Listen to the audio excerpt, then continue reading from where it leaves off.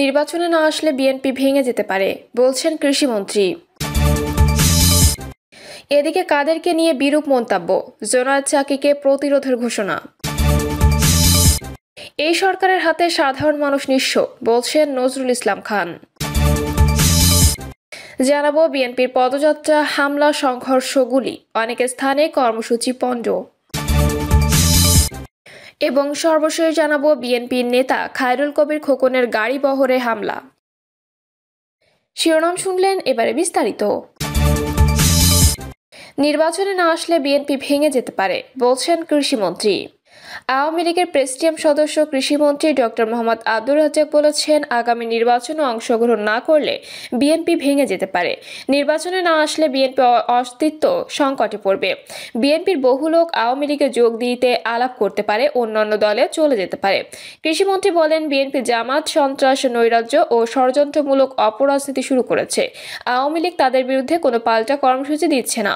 BNP যাতে আন্দোলনের নামে দু হাজার পনেরো সালের মতো ত্রাস সৃষ্টি করতে না পারে দেশকে অস্থির করে বিপর্যয়ের দিকে ঠেলে দিতে না পারে সেজন্য এই শান্তি সমাবেশ। এর মাধ্যমে আমরা আওয়ামী লীগের লাখ লাখ নেতাকর্মীকে সচেতন করছি ও সক্রিয় রাখছি এই সমাবেশ মানুষের নিরাপত্তা বজায় রাখার জন্য। তিনি বলেন, বিএনপি যতই আন্দোলন কর্মসূচি করুক, কোনো ক্রমেই বৈধ সরকারের পতন ঘটাতে পারবে না।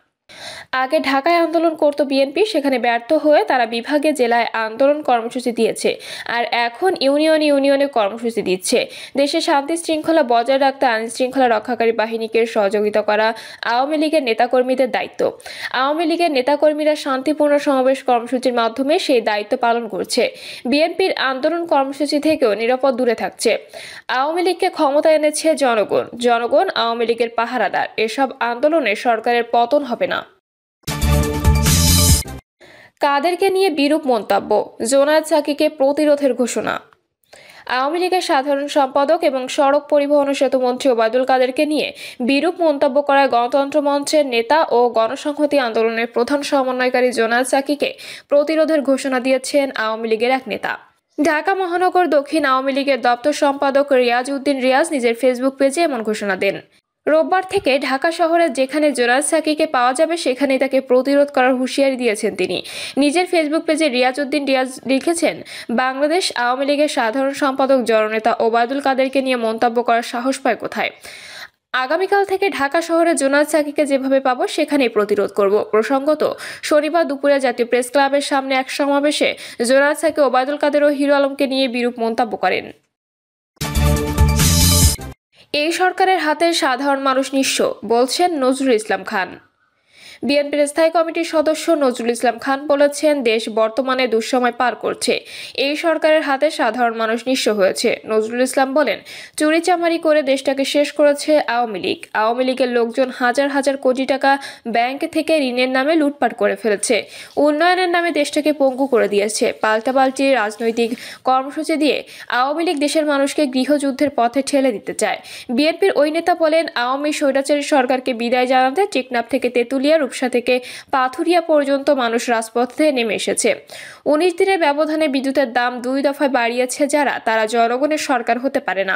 নিরপেক্ষ তত্ত্বাবধায়ক সরকারের অধীনে ছাড়া আগামী সংসদ নির্বাচন জনগণ মেনে নেবে না।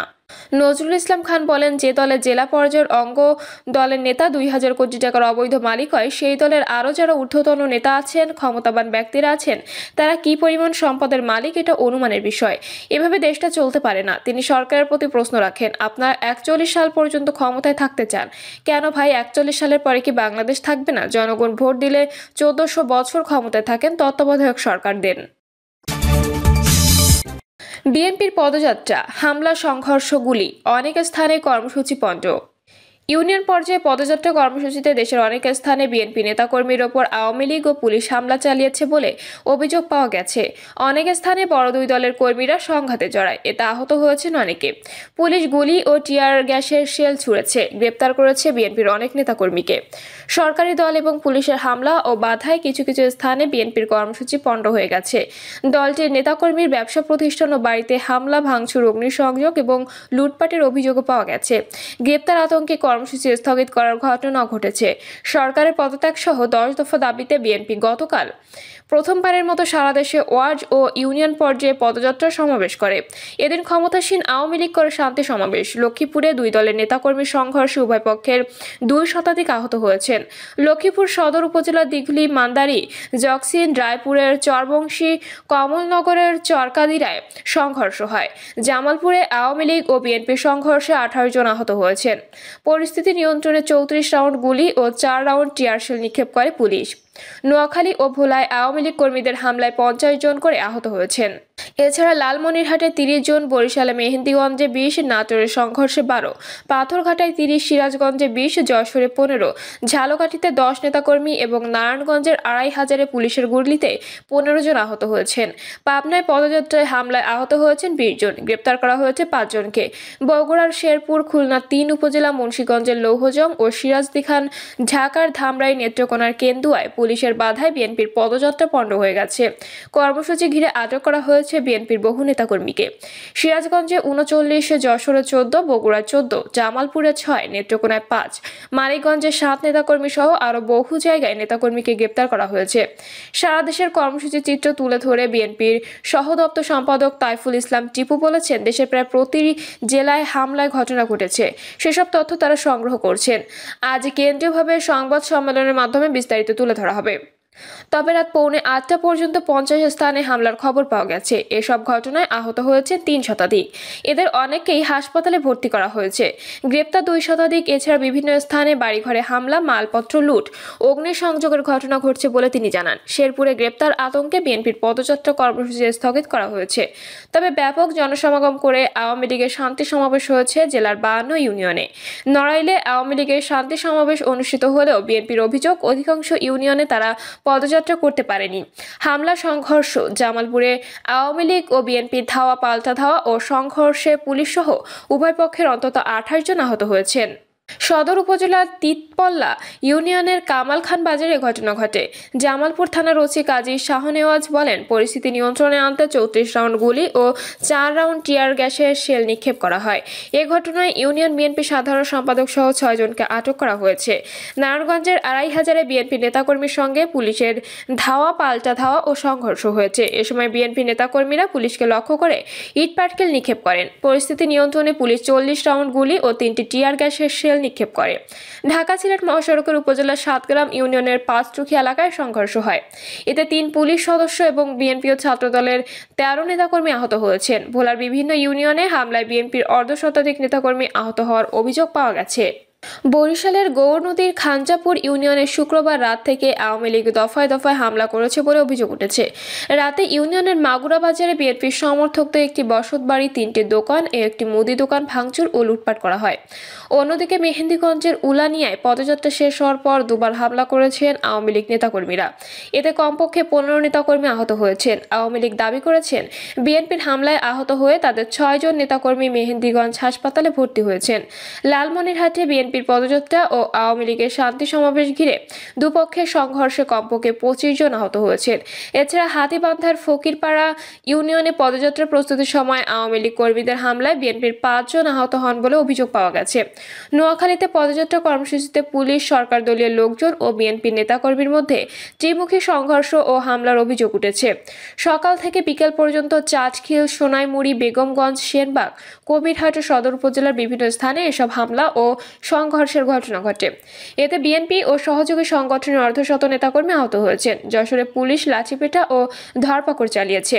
পুলিশের বাধায় কোথাও পদযাত্রা শেষ গন্তব্যে পৌঁছাতে পারেনি। সমাবেশও করতে দেয়নি পুলিশ। বিভিন্ন স্থানে পুলিশ ও বিএনপি নেতাকর্মীর মধ্যে সংঘর্ষে পনেরো নেতাকর্মী আহত হয়েছেন। পুলিশ সদর উপজেলার বিভিন্ন ইউনিয়ন থেকে চোদ্দ নেতাকর্মীকে আটক করে। পরে তাদের কারাগারে পাঠানো হয়েছে। নাটোর সদর, নলডাঙ্গা, সিংড়া ও গুরুদাসপুরে বিএনপির পূর্ব নির্ধারিত কর্মসূচিতে হামলা চালিয়ে বারো নেতাকর্মীকে আটক করেছেন আওয়ামী লীগ কর্মীরা। সদর উপজেলার ছাতনি ইউনিয়নের দিয়ার মাদ্রাসাঘাট বটতলা মোড়ে বিএনপির পদযাত্রা মঞ্চ দখল করে শান্তি সমাবেশ করেন আওয়ামী লীগ নেতাকর্মীরা। সিংড়ায় দুটি ইউনিয়নের শান্তি সমাবেশ থেকে হামলায় বিএনপির অন্তত দশ নেতাকর্মী আহত হয়েছেন। বরগুনার পাথরঘাটে বিএনপি নেতাকর্মীকে মারধর করে অফিস ভাঙচুরের অভিযোগ পাওয়া গেছে। হামলায় তিরিশ নেতাকর্মী আহত হন। সিরাজগঞ্জে আওয়ামী লীগ ও বিএনপি নেতাকর্মীর মধ্যে ধাওয়া, পাল্টা ধাওয়া, ভাঙচুর ও অগ্নিসংযোগ ও ইটপাটকেল নিক্ষেপের ঘটনা ঘটেছে। এতে উভয় পক্ষের বিশ জন আহত হন। তেরোটি মোটরসাইকেলে অগ্নিসংযোগ করা হয় বলে অভিযোগ উঠেছে। বিএনপির উনচল্লিশ নেতাকর্মীকে আটক করেছে পুলিশ। ঝালকাঠির পদযাত্রায় পুলিশি বাধা। ক্ষমতাসীন দলের হামলায় বিএনপি অঙ্গ সংগঠনের কমপক্ষে দশ নেতাকর্মী আহত হয়েছেন। বিএনপি নেতাদের দাবি, জেলায় কমপক্ষে দুই শতাধিক নেতাকর্মীর বাড়িতে শুক্রবার রাতে হামলা করা হয়। ময়মনসিংহে যুবলীগ ও ছাত্রলীগের হামলায় বিএনপির দশ নেতাকর্মী আহত হয়েছেন। নরসিংদীর পলাশে বিএনপির স্থায়ী কমিটির সদস্য ডক্টর আব্দুল মঈন খানের নেতৃত্বে পদযাত্রা করতে চাইলে ব্যানার ছিনিয়ে নেয় পুলিশ। উপজেলা জিনারদি ইউনিয়নের চরনগরদি এলাকায় এই বাধা দেওয়া হয় বলে অভিযোগ করেন মঈন খান। বগুড়ার শেরপুরে পুলিশি বাধায় ইউনিয়ন পর্যায়ে গণপদযাত্রা কর্মসূচি পালন করতে পারেননি দলটির নেতাকর্মীরা। কুষ্টিয়া বিএনপি দশ দফা দাবিতে ইউনিয়ন পদযাত্রায় আওয়ামী লীগ ও পুলিশের বিরুদ্ধে বাধা দেওয়ার অভিযোগ উঠেছে। মুন্সীগঞ্জের লৌহজঙ্গে ঢুলুগাঁও সরকারি প্রাথমিক বিদ্যালয় থেকে বিএনপি পদযাত্রা বের করলে পুলিশের বাধা দেওয়ার অভিযোগ পাওয়া গেছে। ঢাকার ধামরাইয়ে কালামপুর বাসস্ট্যান্ড থেকে বিক্ষোভ মিছিল শেষে সমাবেশ শুরু হলে পুলিশ ধাওয়া দিয়ে ব্যানার ছিনিয়ে নেয় এবং সমাবেশ পণ্ড করে দেয়। মুন্সীগঞ্জের সিরাজদি খানের রাজানগর ইউনিয়নে পদযাত্রা শুরু করতে গেলে পুলিশি বাধার মুখে পণ্ড হয়ে যায়। নেত্রকোনার কেন্দুয়ার বলাইশিমুল ইউনিয়নের কুমুরুড়া বাজার থেকে বিএনপির পদযাত্রা শুরুর আগে তা পণ্ড করে দেয় পুলিশ। পদযাত্রা কর্মসূচিতে অংশ নিতে শত শত নেতাকর্মী জড়ো হন। কিশোরগঞ্জে পদযাত্রায় পুলিশ বাধা দিয়ে ব্যানার ছিনিয়ে নিয়েছে। সদর উপজেলার হোসেনপুরে জিনার্দি ইউনিয়নের হাজিপুর বাজার এলাকায় পদযাত্রার পুলিশ বাধা দিলে ধাওয়া পাল্টা ধাওয়া এবং ইটপাটকেল নিক্ষেপের ঘটনা ঘটে।